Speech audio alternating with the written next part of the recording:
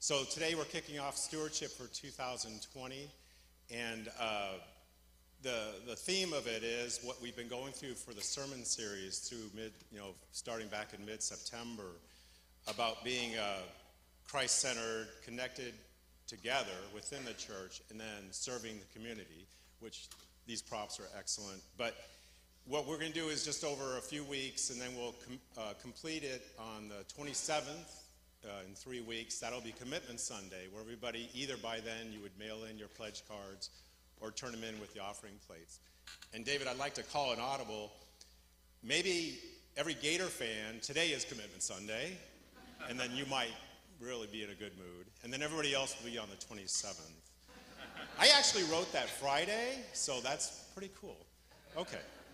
Um, but anyway, the operating fund that we're talking about is the foundation of the church. It handles all the staff salaries, the apportionments we pay to the conference and district, utilities, repairs of the facilities, everything, and it's about $1.2 million a year. And the bulk of that comes from your pledges. In the last several years, it's been awesome. Our pledges are right on track. Everybody gives over the course of 12 months. So that helps the finance committee pay the bills and plan for the year. And that's awesome. The only reason usually that you know might fall is because of obviously people passing away or they move out of town. But that's a testament to this church that every year we can count on your pledge. And now what we need to do is just bump it up a little bit because we have these growing programs, as uh, Lori spoke of, and, and David and Ann have been speaking about, that really now it's almost becoming a financial constraint. That's what's preventing some of these outreach ministries. Not only that, within the church, we have so many programs going on for the youth, the children, family services, and things like that.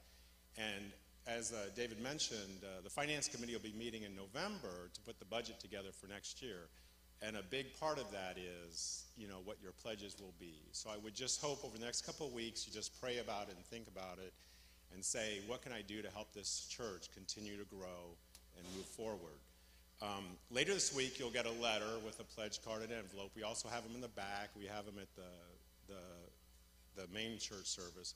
But if you like, just uh, you'll get a letter outlining what we're doing, and then you'll get the pledge card and envelope. And if you would, just by the end of the month, turn it in or come on the 27th and drop it in the offering plate. Thank you.